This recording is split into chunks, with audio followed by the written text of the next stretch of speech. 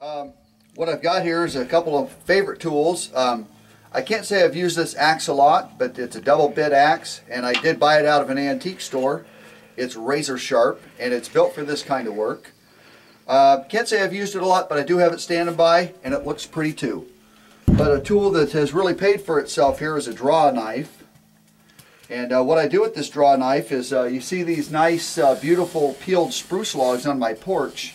And it's kind of a common theme that I, I plan to continue with in all my buildings here. Uh, and they're, they're readily available in a forest. So what I do is I select the tree I want, which generally is nice and tall and straight.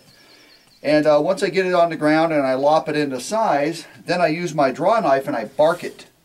And it's a it's not a difficult process, but it's a lot of physical work, especially when you're doing several of them. And you just grab it, and with the bark on the log, you just in long strokes like so, you peel that log and you peel the bark off and then you're at, you're really left with a, uh, a beautiful, almost white, lightly blonde, uh, beautiful, straight, relatively smooth log. And uh, you can use it to build with it. I could use it in the place of, say, a, a beam that you'd buy at the store and it should last forever because it's up off the ground it's uh, peeled so it can dry and cure out. What we have here is this is where a limb was sticking out of the tree. And even though I I chopped it off smooth say with an axe or probably a, a chainsaw when you're barking it sometimes you bite into that hardwood because the grain's running in a different direction and it's pretty dense. So sometimes you really have to fight to get through it.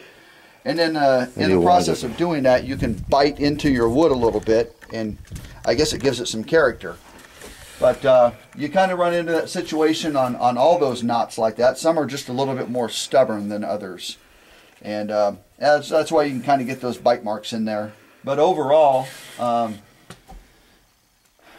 it still gives you kind of a neat look. It's kind of kind of gives it the rustic look, and um, it makes you have to buy less beams at the store. That's for sure.